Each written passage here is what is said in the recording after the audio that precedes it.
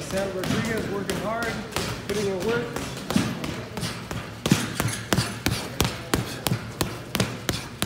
It wasn't a UFC guy, Henry Cujo? Cujo? Kudo? Kudo.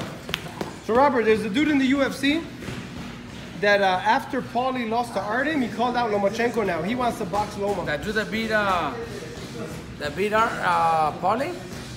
No, another fighter saw that some guy in the UFC that was 14 and 15, that was never a champion, beat Paulie.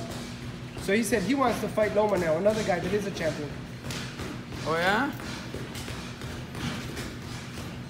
Wow. Look, Floyd did it with those other guys. You know, Made money. made money. So Loma won't do stuff like that. I don't think so. No, he's fighting. I don't think Loma does stuff like that.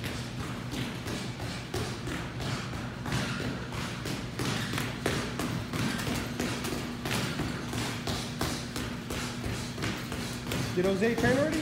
No, he's he's he's uh he's not coming today. Today I gave him the day off. So Robert, let me ask you about this fight. Sean Porter, Errol Spence. It's a good fight. Sean Porter's style is gonna be it's always gonna be difficult for, for whoever he fights. And as good as Spence is and and and uh, talented, I think he's gonna have trouble with with uh, Porter. I think Spence wins, but I think I think he has trouble.